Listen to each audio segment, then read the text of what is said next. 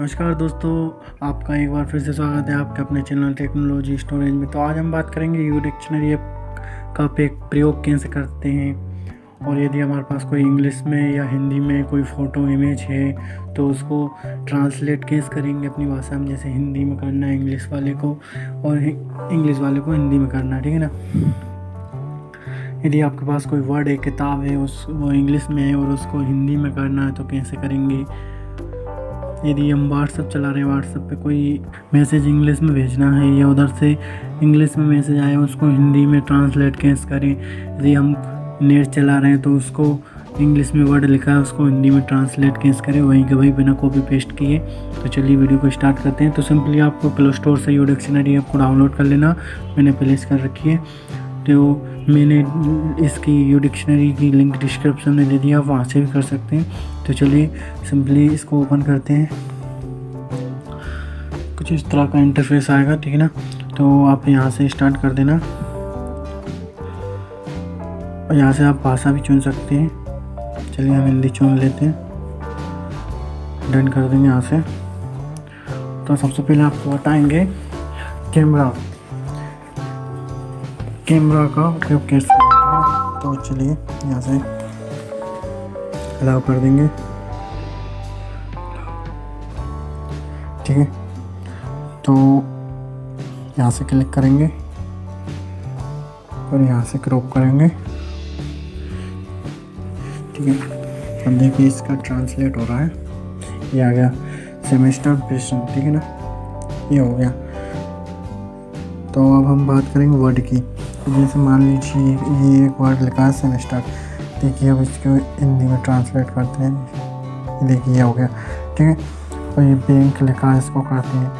कहीं से नीचे लॉक का निशान बनाना इसको दबाने से, ये देखिए, बार बार हल्ले पर ये चला जाता है।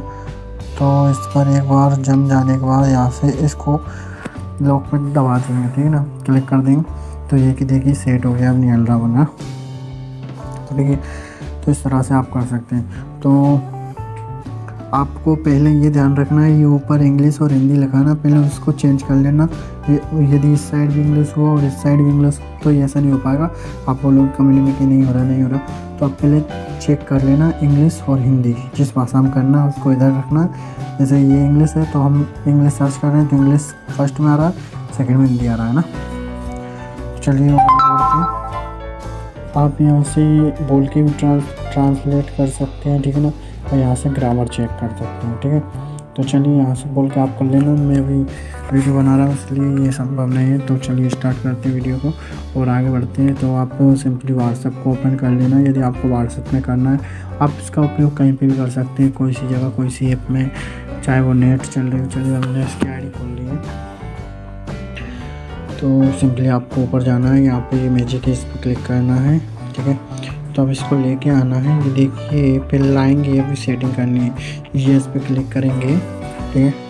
तो आप नीचे आएँगे, नीचे लिखा है जो डिक्शनरी इस पर क्लिक करेंगे, यहाँ से ऑन कर देंगे इसको, ठीक है ना? तो ये ऑन हो गया है, ठीक है?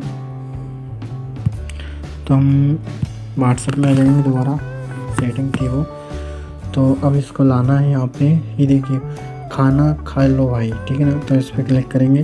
ये देखिए, ईट द ब्रदर ठीक है ना? तो ये हो गया। अभी बढ़िया भाई पे क्लिक करेंगे तो ये देखिए, ये इंग्लिश में हो गया, ठीक है? कैसे हो इस पर कोई क्लिक करेंगे तो ये देखिए, ये इंग्लिश में हो गया। हाउ आर यू ठीक है ना? हाँ।